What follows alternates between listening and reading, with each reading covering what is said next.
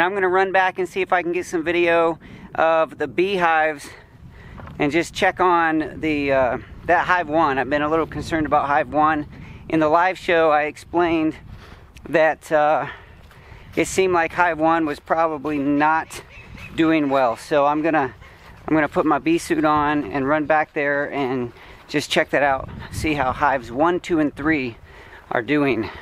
I'm not bringing a bunch of tools out because I'm not gonna do a full inspection. I'm really just gonna get in there, take a peek and see how the bees are doing. Let me know how I, how I should proceed, you know, going through the rest of this winter, which I don't know if it's gonna get cold again or not.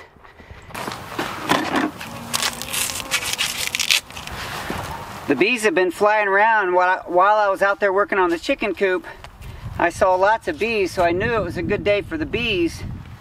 Plus, I'm out here in a t-shirt, so that tells me that it's a comfortable temperature for the bees. Just to be safe. I am gonna get a, a fire going here in my smoker. Should check the direction of the wind before you do that.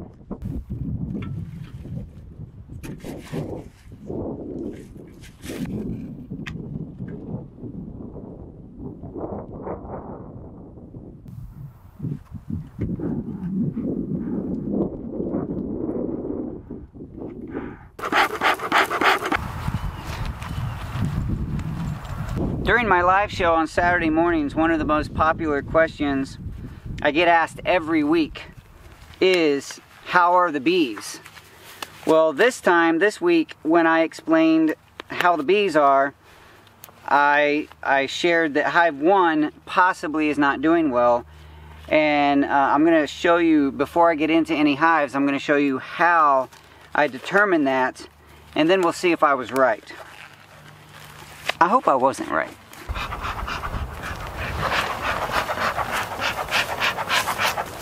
I really have to make a door or a gate on the apiary, the bee yard. Climbing under that thing's not getting any any more fun. Right now, hive one. I do see a few bees coming and going. This is hive one right here. So the fact that I see bees coming and going is one positive sign. At least, you know, hopefully it's the bees that belong here and not robbers. But let me show you that trick that I do in the wintertime or whenever the weather is not conducive to uh, getting into the hive. Sometimes I just want to come out and check them out. So what I'll do is I'll come out here and I'll put my, my ear on the hive and I'll give a little little tap tap.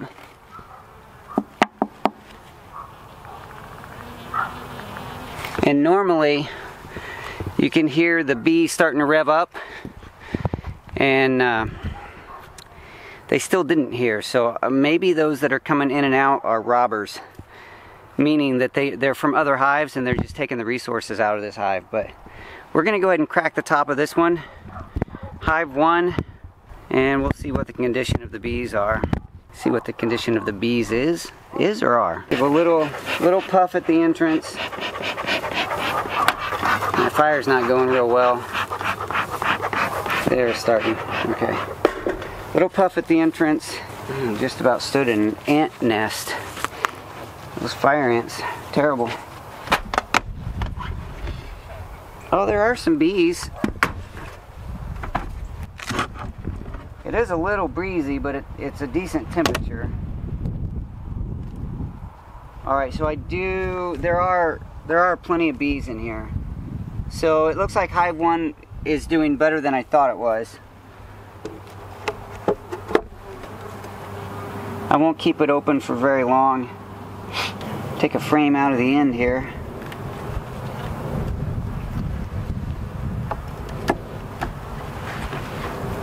And that one has uh, really nothing built on it. It's still empty.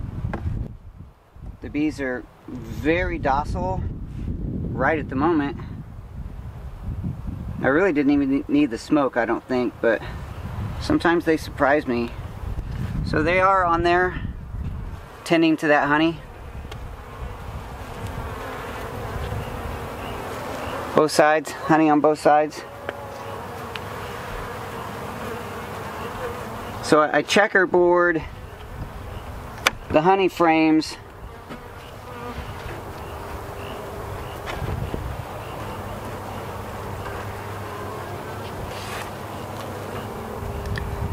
So I think Hive 1 is doing okay. As I look down in there,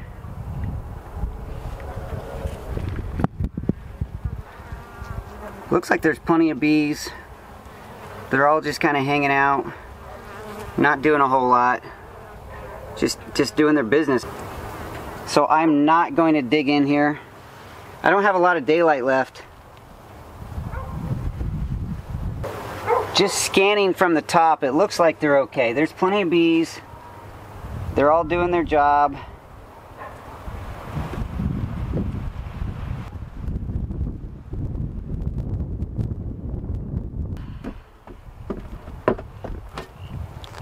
Let's check out hive number two. The tappy trick, I call it the tappy trick, but it's really just a sound check, I guess. Putting your ear on there. and I can hear them. So they're probably fine, but we're going to crack the lid just to see.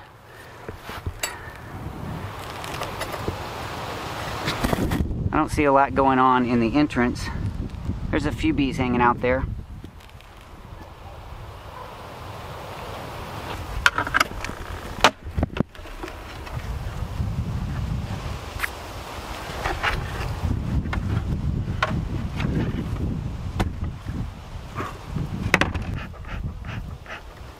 Smoke's not really doing anything. I can't even...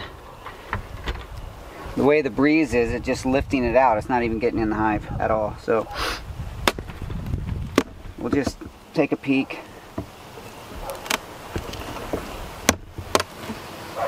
Yeah, so this this activity looks pretty good.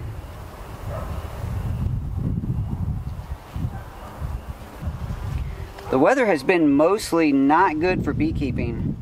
That's why there hasn't been a lot of beekeeping episodes on my channel. I got a lot of propolis in this one.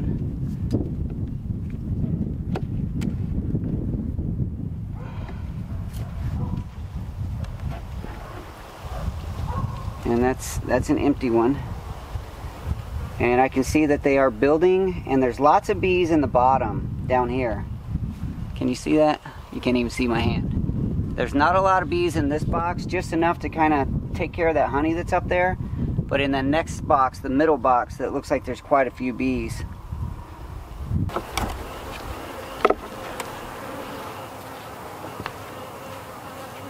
They got some decent honey on there. I left some honey on from the summer because I wanted to make sure they had plenty of reserves for the winter. I didn't know how, how bad the winter was going to be. You got a little bit there. Alright, I have three frames out. Let me give you a peek in here. You can see that big honeycomb up here. That is on a uh, foundationless. So that's all honeycomb built to the size that they desire. It looks like it's drone, a size for drones because the cells are bigger. A lot of bees in there hasn't really been freezing cold except for a few days, but generally speaking, I like to be very respectful of the weather for the bees because I don't want they work really hard to keep the inside of the hive a certain temperature and if it's not a very nice day and you come and take the lid off then all of that effort the moisture and uh, the moisture level and the temperature level that they worked for uh, goes right out the roof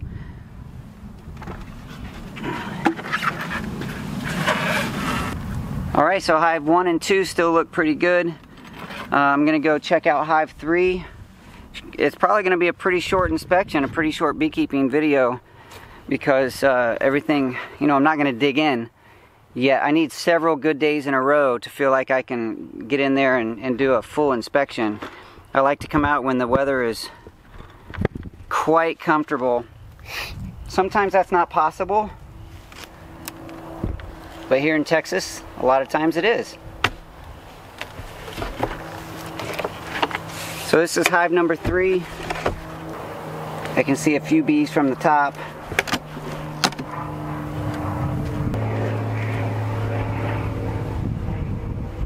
It's one that's empty. Got a little bit of comb on that side.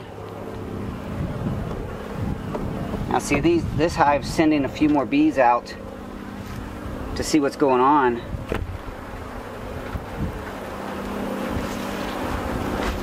They do have some honey. Now they're getting a little more aggravated. So that's a good sign because they're the hive is strong, but it's mm. bad sign for me if my suit's not all closed up.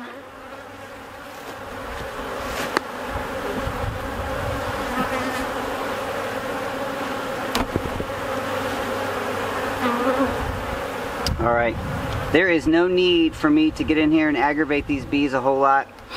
I've already aggravated them by opening the hive and standing here and talking. So we'll just close it up. So for this Saturday's live show, if you're on there, the answer to how are the bees is going to be right here in this video because between now and then, I'm not going to be doing any more uh, beekeeping. It's probably best to just leave those lids on until sometime later in January. But I do come out at least once a week and observe the hives and put my ear on the hive and see how they're doing. Hive 1 surprised me this time. I really was expecting to see uh, very few bees in hive 1. I kind of thought they swarmed up.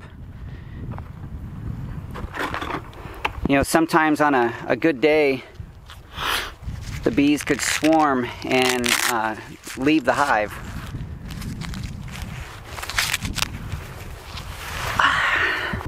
but I'm glad to see that didn't happen. So now hives 1, 2, and 3, glad to report, are doing well.